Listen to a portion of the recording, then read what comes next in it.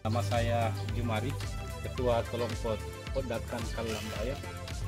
Eh, tentunya manfaat eh, pendampingan yang telah dilakukan oleh tim daripada Prof. Eh, Batara tentunya luar biasa karena pendampingan begitu signifikan yang dia lakukan kepada kami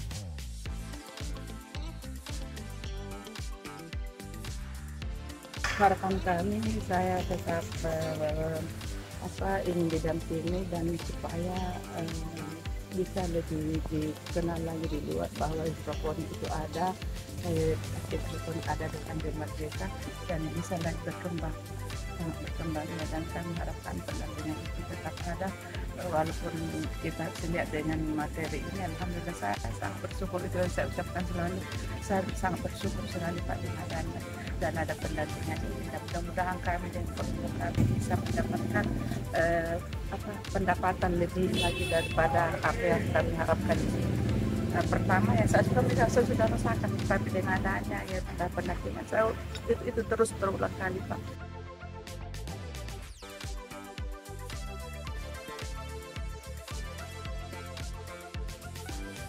Assalamualaikum warahmatullahi wabarakatuh. Perkenalkan, eh, saya Asrul sebagai ketua eh, kelompok ekonomi kreatif dari Kalambayang, eh, di mana yang sini apa?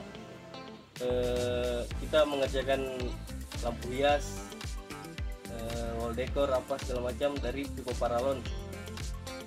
Jadi ke depan ini prospek untuk pengembangan hidroponik di kawasan permukiman padat itu harus dikembangkan karena tujuannya sebetulnya sangat bagus. Bagaimana meningkatkan ekonomi masyarakat setempat. Ya. Nah, Yang paling penting bahwa lahan yang sempit ini kita bisa manfaatkan supaya bisa berproduksi.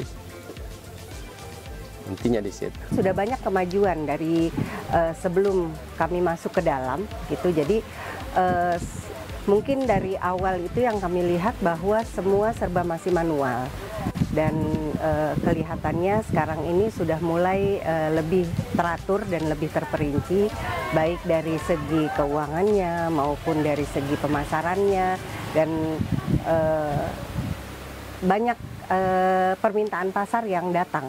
Saya lihat juga dari ekonomi kreatifnya juga sudah mulai lebih eh, baik lagi. Dengan adanya sistem digitalisasi, kemudian nanti memakai marketplace, kemudian nanti memakai aplikasi, itu mungkin akan lebih baik lagi dan lebih eh, banyak lagi pasar yang bisa dijangkau.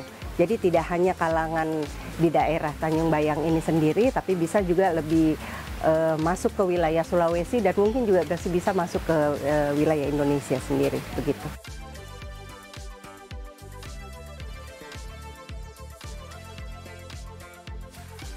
Manfaat yang diperoleh mahasiswa dari kegiatan pengabdian masyarakat ini berupa ialah masyarakat dan mahasiswa akan berkolaborasi dalam peningkatan ekonomi kreatif serta urban farming di Kota Makassar khususnya di Kelurahan Tanjung Merdeka.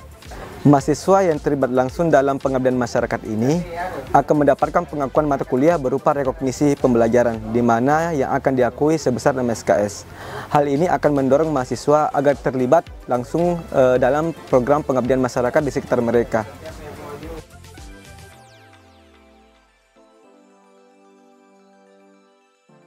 Proses pemberdayaan berbasis urban farming dan ekonomi kreatif yang dilaksanakan oleh tim di Kelurahan Tanjung Merdeka, Kota Makassar secara spesifik sebenarnya akan menjadi spirit untuk daerah-daerah lain atau kelurahan-kelurahan lain yang ada di sekitarnya maupun dalam lingkup Kota Makassar secara keseluruhan.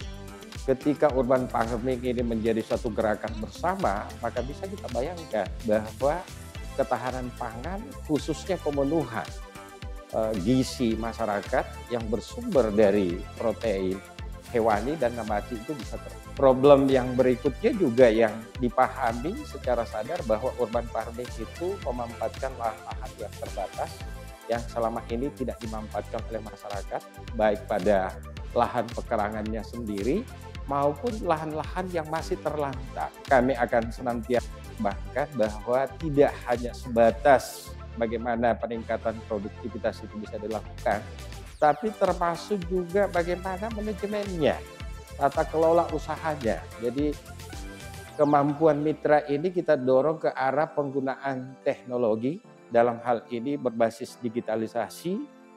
Konteksnya untuk apa? Kemudahan untuk mengelola dari sisi keuangan. Kemudian yang kedua, akses pasar potensial yang bisa dikembangkan ke depan.